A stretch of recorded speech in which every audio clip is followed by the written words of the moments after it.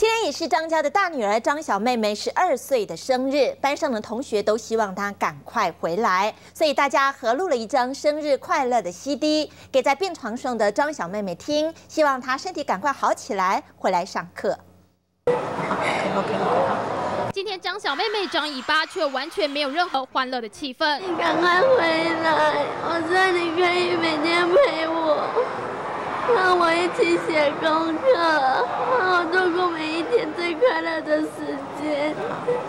同班同学于是合录了一张生日快乐 CD，拜托老师送到医院，帮亲爱的同学加油打气。天真的歌声，这时候听起来特别感人。祝你生日快乐！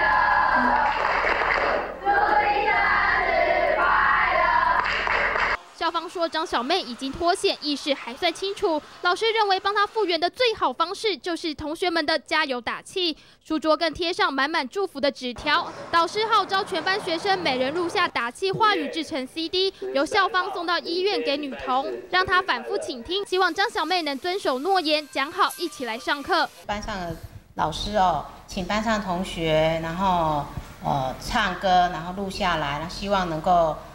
帮这个在加护病房的同学能够加油打气。